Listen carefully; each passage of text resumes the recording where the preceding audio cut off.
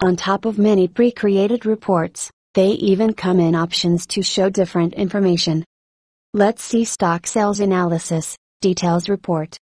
You'll notice there are two options. First one is detail, second one is gross profit format.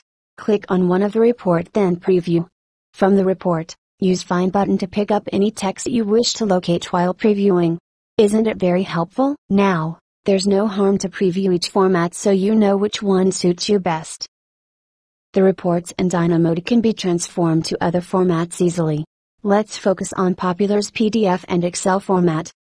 After you preview then click Save as PDF format. Select all then click on OK button to locate your preferred folder.